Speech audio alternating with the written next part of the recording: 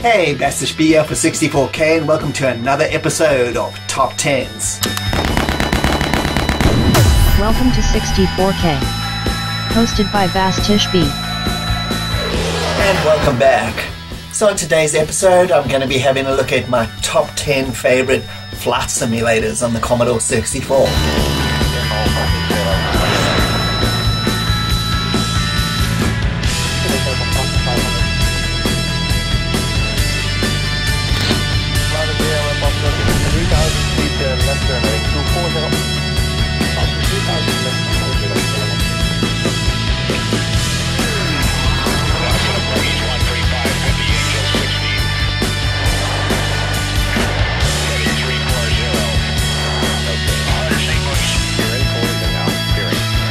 This is one I've been wanting to make for a very long time, but just due to the time it takes to actually make something like this, you know, playing all these games and remembering how to play them, that was a big issue.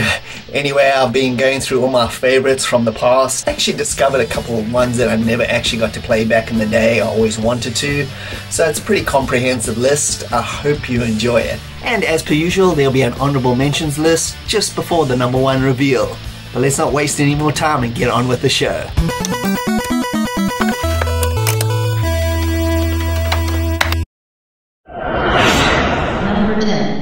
Night Raider was released by Gremlin Graphics in 1988. The game also goes under the name Dive Bomber for its US release, published by US Gold Epyx collaboration. This game is essentially a newer, at least back then, version of 1985's The Dam Busters, with the game giving you one mission as well to sink the Bismarck. If you don't know what that is, it was a real life German World War II battleship which joined the German battle fleet in 1940 and was the biggest warship ever to set sail. The ship was eventually sunk in May of 1941 with multiple Allied ships of the Royal Navy in a full-on attack in the North Atlantic. Your mission is to fly a Grumman Avenger plane, which was said to be the plane that dropped the final torpedo that ultimately sunk the ship. The entire mission is here, from the takeoff, navigation, flying, and dropping that final torpedo. You have to jump around the cabin like in the Dam Busters, keep updating your map, staying on target, and taking out other aircraft, and of course making that all-important run for that final shot on the ship itself. The controls are kept fairly simple in this game and remind me a lot of Accolade's Ace of Aces in its style, with good graphics and atmosphere. It's easy to get into also, and also very easy to die. But considering there's only one real mission in this game, it can't possibly be that much of a walk in the park. It's a great variation on the single mission styled flight sim.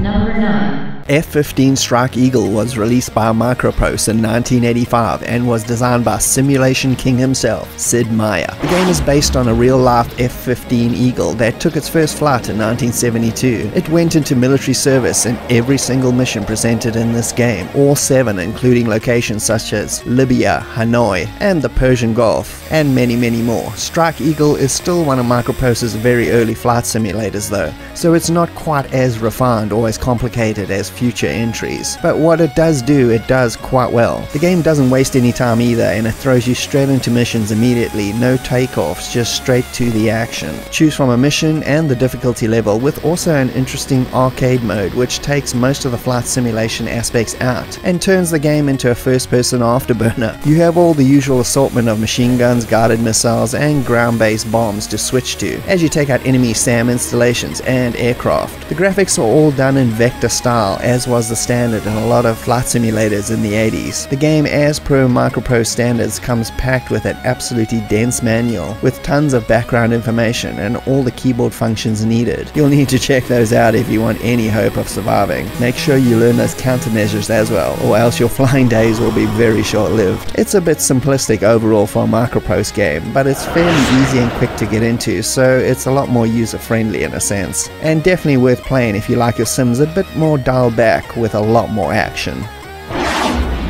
Number 8.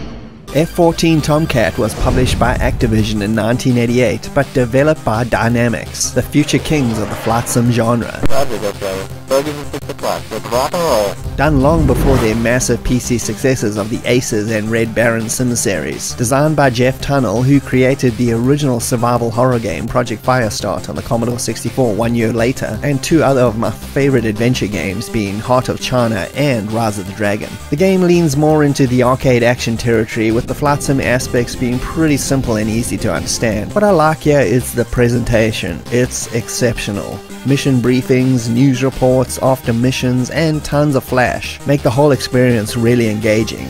You can do quick missions, which there are 80 of in total, or go for the full campaign mode, which is the best part of the game and is where all the cinematic flash, basic training, and working your way up the military ranks all comes into effect. The game's focus here is definitely on aerial combat as you go up against MiGs and full-on dogfights, with an assortment of missiles and some Vulcan cannon fire. I like the fact that you can radio other planes or even your base to find out whether they are allies or hostiles. Or if the mission is taking place in a full wartime situation, then every everything and everyone is your enemy and you can just go totally berserk and shoot everything. There is so much depth in the career mode though, from mission outcomes affecting your overall career to being captured by the enemy and lots more. The flight sim aspects are a bit simplistic as Zap64 stated in their May 1989 issue, but I feel the great atmosphere and production values plus seeing Dynamix in action before their massive flight sim success later is worth the price of admission. The Dam Busters was published in 1985 by Accolade on the C64, with Sydney Development making the game, a Canadian software company who delivered two of Accolade's early hits with this and the really fun boxing game Fight Night. And my favorite game of theirs has to be Desert Fox, the tank arcade strategy game published by US Gold. This game itself is a World War II flight simulator putting you in the role of a pilot as you fly a Lancaster RAF bomber behind German lines to bomb a dam, thus flooding the entire German factory and infrastructure and crippling their ability to produce weapons. This game is based on the real-life mission flown by the British RAF carried out in May of 1943 where they managed to take out multiple dams with the use of the newly developed bouncing bombs, which skimmed the water bouncing to their target and taking it out. The game lets you reenact this epic mission. It's equal parts flight simulator, strategy and arcade action as you plot your course, attempting to avoid German spotlights and air balloons, fight off attacks from the ME-110 night fighters, and eventually if you manage all that to keep the plane intact, you'll have to perform the critical bombing run on the dam with only one shot for victory. If you thought Luke's Death Star trench run was intense, well this makes that look like a walk in the park. I'd highly suggest doing a practice run first though, to get the full grips of the vital bombing mechanic. But oh man is it satisfying getting that perfect shot when you play the real mission. This game is chaotic and stressful, the action segments are fun and intense, and keeping track of your map, your compass direction, and miscellaneous gauges all add up to an extremely satisfying experience. And considering that this game came out in 1985 makes it even more impressive. And if you want to know more about the history of this epic mission, check out the classic 1955 UK movie The Dam Busters for an excellent homage to this important mission.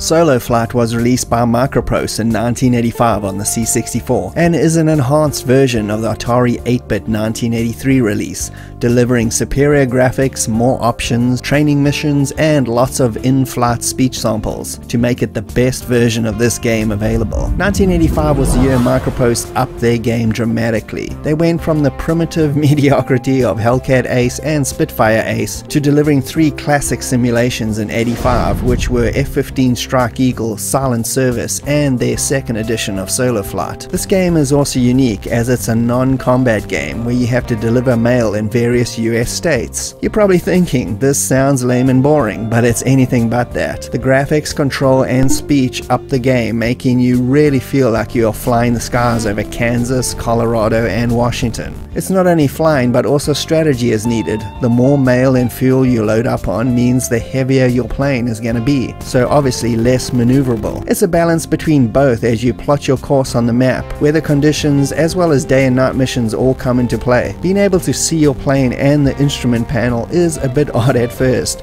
but is a very cool mechanic that makes takeoffs and landings a lot easier to get to grips with. This was one of the first few flight simulators I ever played at my friend's house on his C64 after I got mine. We spent hours flying, meticulously landing, loading up on mail and fuel before plotting our our next course and taking off. It was the C64's version of Microsoft Flight Simulator, and absolutely no regrets. We interrupt our program to bring you this important message.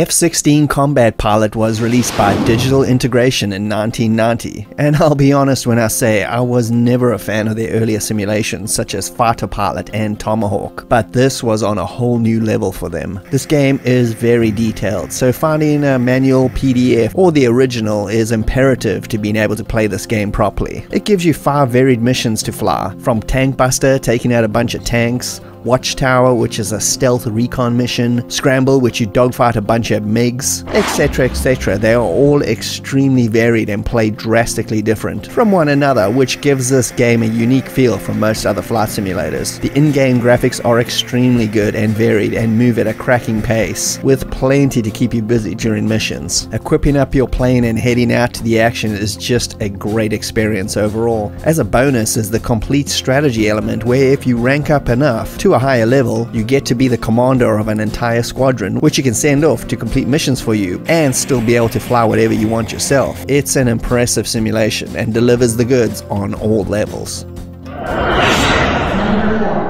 Chuck Yeager's Advanced Flight Trainer was released in 1987 by Electronic Arts. If you don't know who Chuck is, he was an Air Force pilot that got his start during World War II but after the war he became a test pilot for many experimental planes. But his claim to fame came in 1947 when he became the first pilot in history to exceed the speed of sound when he flew the experimental Bell X-1 at Mach 1 in October of that year. The game itself almost feels like a real-life flight instruction manual, or as real as an 8-bit computer could do in 1987. But seriously, it's still a very impressive game to play right now. The sheer amount of options and variety in this game is quite astounding, and implemented oh so well. You can go under Yeager's wing, so to speak, as you go through all sorts of real life flight training missions. You can do competition style Blue Angel stun courses, become a test pilot yourself for experimental jets, and even fly the Bell X-1 that Chuck broke the sound barrier in, and race other planes in time trial type scenarios. The amount and variety of planes is also crazy with 14 in total. Everything from a Sopwith Camel biplane to World War II Mustangs, Lockheed SR-71, and even an F-18 Hornet. The 3D outside views are really impressive as well, with 10 different viewpoints to switch to in real time, and even the option to save your mission and watch it afterwards in full 3D is crazy ambitious for 1987. I've said this before on this channel, but 80s Electronic Arts were amazing. They took risks, pushed the envelope, and always delivered new experiences. Chuck Yeager is like no other flight sim on the C64. It feels completely unique,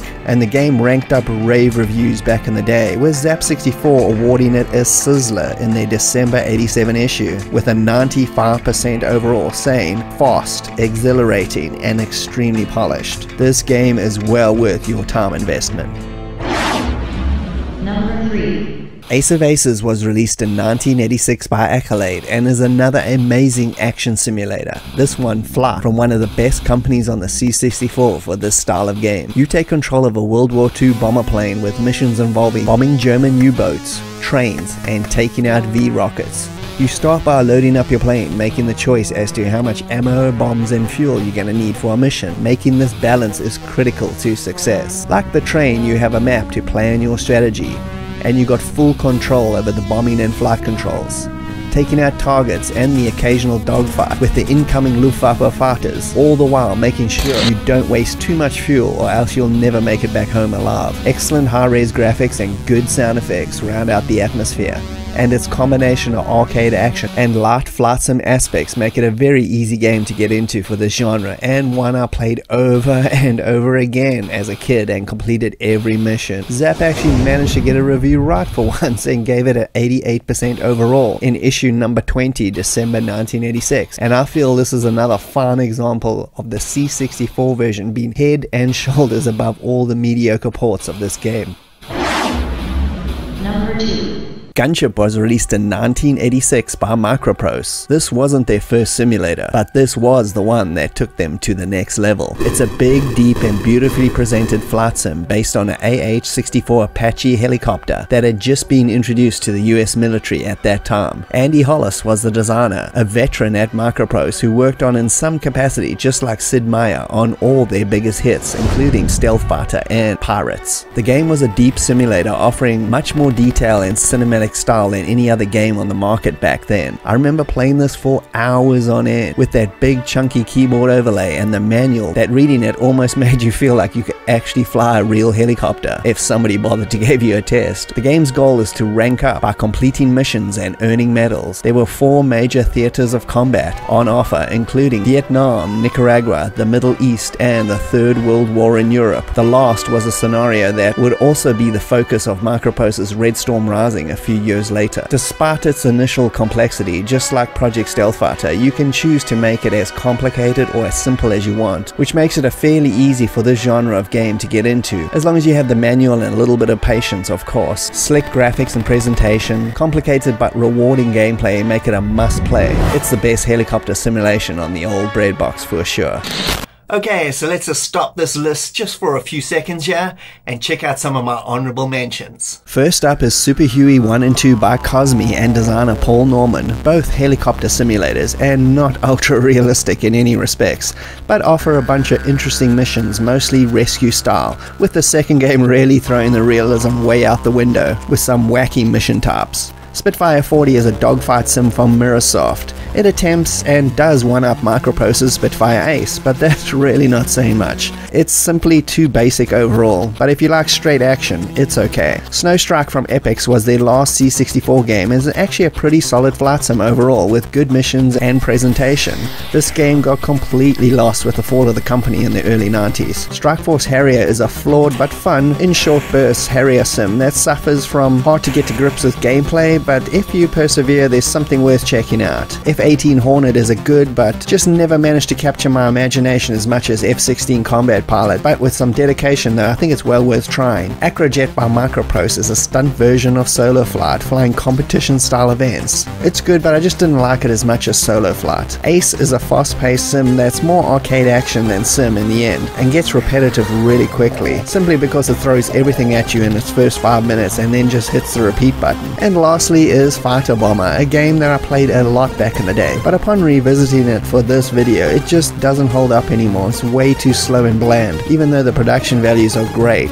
Just play the DOS version instead, it's vastly superior. And also don't forget to check me out on all social media for a lot more retro gaming goodness. And check out the companion piece video to this, my top 10 favorite Navy simulations on the Commodore 64, checking out warship and submarine simulators. We interrupt our program to bring you this important message.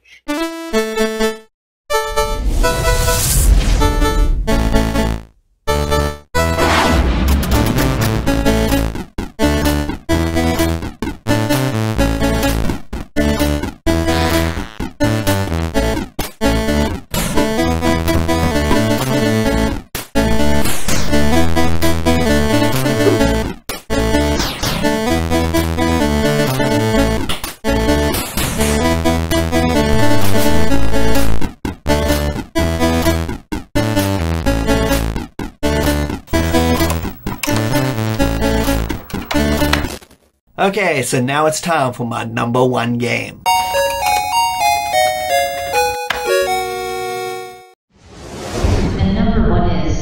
Project Stealth Fighter was released by Microprose in 1987. It was and is their best flight simulator on the Commodore 64, only rivaled by their own Gunship, which came out one year earlier. The game was designed by Jim Synoski and Arnold Hendrick, and it pushed the then combat flight sim genre to the absolute limits of realism as far as controlling your craft and the setting and realistic nature of the campaigns and missions. Although the plane was not exactly a real plane, it was at the time based loosely on a stealth bomber, which was first used in combat in 1989 during Operation Just Cause in Panama. You take the role of a pilot that could take on missions from all over the world, with Libya, the Persian Gulf, and Central Europe being some of the locations. The game's attention to detail in every aspect, from the excellent graphics and presentation to the brilliant sound effects, plus a manual that was every bit as detailed as Silent Service or Red Storm Rising's mammoth tomes. Like most Microprose games, you also got one of those awesome keyboard overlays to help keep track of all the keyboard functions in the game. Out of all the simulation games on the C64 I've played, this is the best. I remember distinctly flying over 28 successful missions and upgrading my rank and I still have my old save game disc from back in the day. Zap64 magazine gave this one a perfect score of 96%, and I agree with them 100%. The following year in 1988 also saw the release of the updated versions on DOS and Amiga, retitled F19 Stealth Fighter, which are both fantastic versions, but don't in any way take away from this brilliant creation that any Commodore 64 flight simulation enthusiast should play.